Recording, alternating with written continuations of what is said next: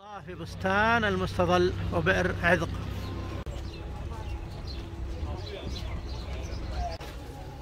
هذه تسمى مزرعة المستظل اللي إحنا فيها هذه الآن هنا. هذه المنطقة بالتحديد تقريبا هنا. آه، المنطقة التي آه، استقبل فيها الأنصار سيدنا محمد صلى الله عليه وسلم.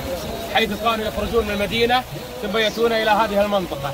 إلى أن تحتمي عليهم الشمس فيرجعون. يوميا نعم شبه يوميا كانوا في هذا الشيء. في يوم من الأيام كان في يوم الاثنين 12 ربيع.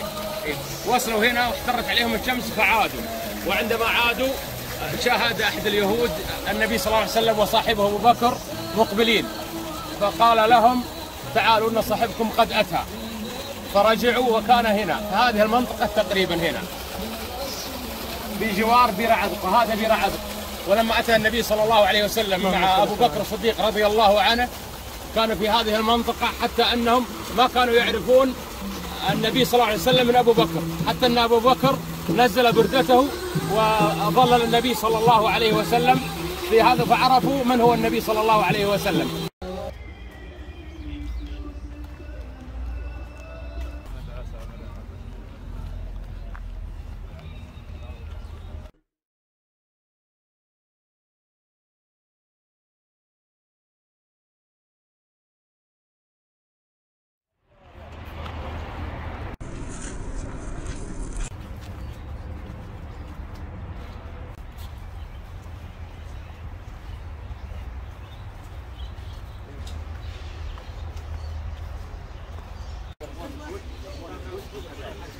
هنا ما شاء الله محمية الطيور. دخول إلى محمية الطيور. يلا جزاك الله خير.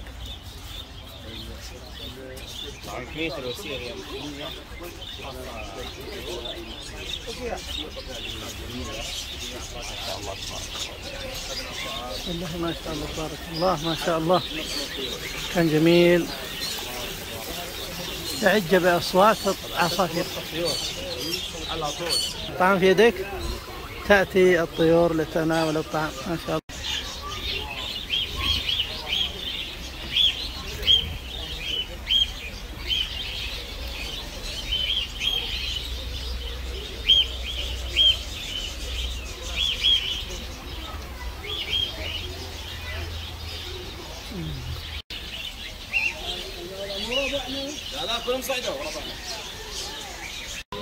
السلام عليك يا أبو ناصر ما شاء الله. هنا الطابق العلوي.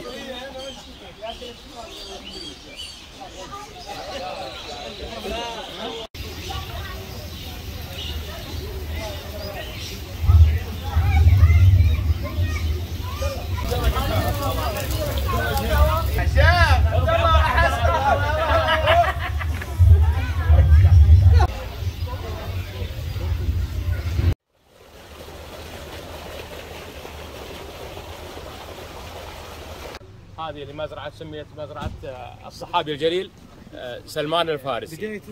رضي الله عنه وأرضاه. رضي الله عنه.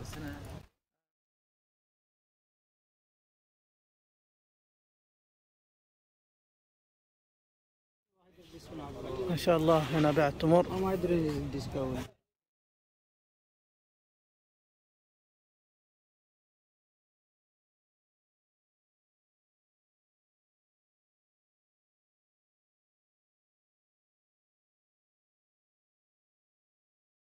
صلى وسلم على محمد.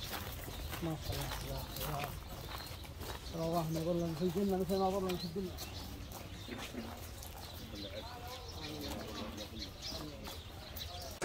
استقبال بالترحيب جزاكم الله خير. كتب الله أجركم.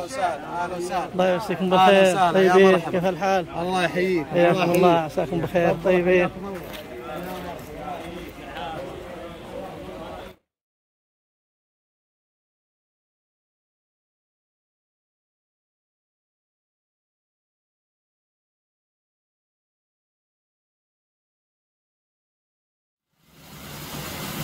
الرحيم. اللهم صل وسلم على نبينا محمد وعلى آله وصحبه أجمعين. أهلا وسهلا فيكم. حياكم الله يا ضيوف الرحمن. شرفتونا واسعدتونا في طيبة طيبة. طيبة أهل الطيب وأهل النخوة. مجاورين المصطفى وانصاره نبينا ما فيه غيره قدوة. قدوة. سبحان اللي فضله واختاره. واختاره. يا مرحبا بأهل الوفاء والصفوة. صفوة. فالعالية كل على مقداره الله يكرمكم إن شاء الله. جزاكم الله خير. نفسها مو زيها هي الأصلية الحمد لله وعندي كمية منها. هذه السحرات والشرطه القديمة جراكل زمزم الكوله صناديق الشاهي طرمبه الموية الهندول. كبية قديمة تحميض بالموية والغاز. هنا جميع الروادو والمسجلات.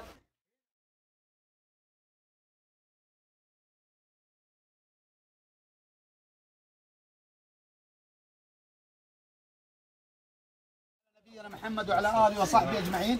هذه عجوة العالية. مصداق الحديث الرسول اللهم صل وسلم عليه. إن في عجوة العالية شفاء أو إنها ترياق اول البكرة. رقم واحد رقم اثنين رقم ثلاثة. الفرق بينها حجم الحبة.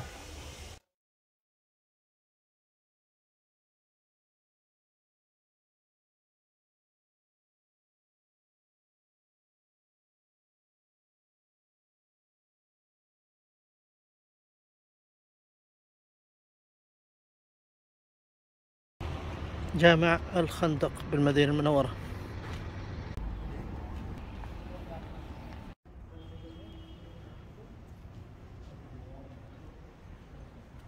ما شاء الله أربع أيام اللي يقول خلصوا في 20 يوم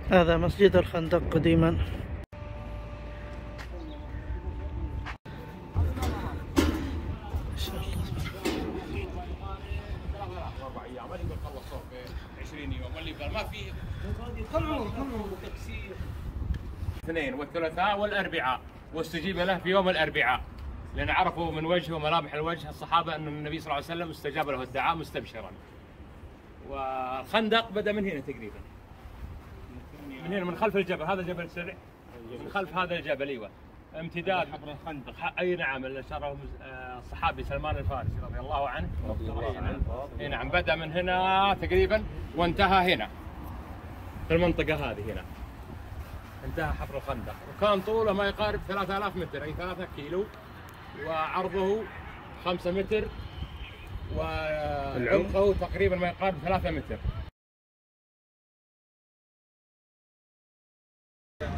ما شاء الله منتزه ريف البستان.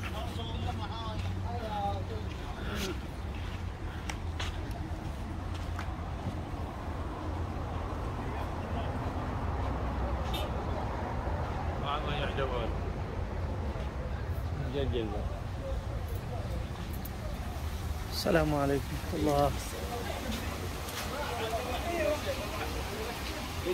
ما شاء الله تبارك الله على جمال المكان. يا رب الحسن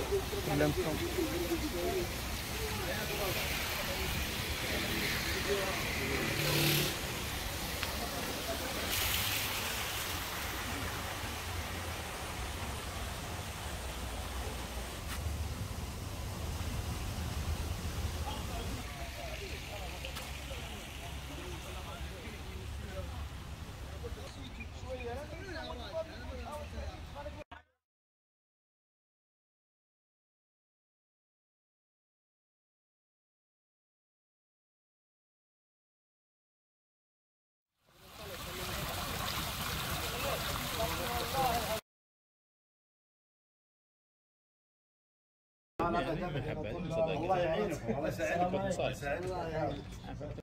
فأسست المتحف في يوم 10 10 1410 عشان ما نضيع التاريخ. وأنا ترى من قبله يعني بديت بالتجميل. والحمد لله الآن عندنا متحف الدور اللي فوق هذا كامل متحف. وهذا متحف ولله الحمد والشكر. إضافة إلى الأشياء الثقيلة اللي ما تجي إلا بالرافعة بالحوشه مثل الحياض الحجر والأعمدة عندي تقريبا مئة ألف قطعة. بفضل الله عز وجل. ما شاء الله هذا متحف ماضي الوقت. هذا ابو وليد متحف شخصي. اقصى مشغول يا شباب هذا الموية طبعا هذه الدوارق اللي استخدمت في الحرم بعهد الملك سعود والملك فيصل. فيها موية ورد وتفضلوا اشربوا والماء جاهز للشرب ما شاء الله تبارك الله. لقطات من متحف ماضي الوقت. بالمدينة المنورة والذي يحوي مئة ألف قطعة أثرية. والله متحف رائع جدا ما شاء الله على صاحب هذا المتحف الذي بذل فيه جهدا كبيرا.